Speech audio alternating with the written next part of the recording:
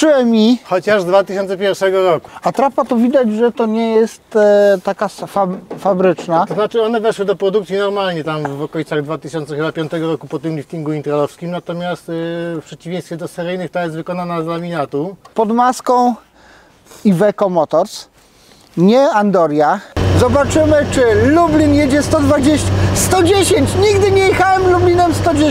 Ale czyż ten Lublin w świetle zachodzącego słońca nie wygląda jak samochód, jak fajny samochód dostawczy, nadzieja polskich przedsiębiorców na tani transport. Mi to on się bardzo podoba, bo jest żółty. Mi też. Jakby Artur powiedział też, że jemu też, to wtedy powiedzieliśmy mi trzy, czyli trzy osoby powiedziały, że mi się podoba. Mi też! O, no nie, nie może być mi cztery, więc Michałowi się ma nie podobać.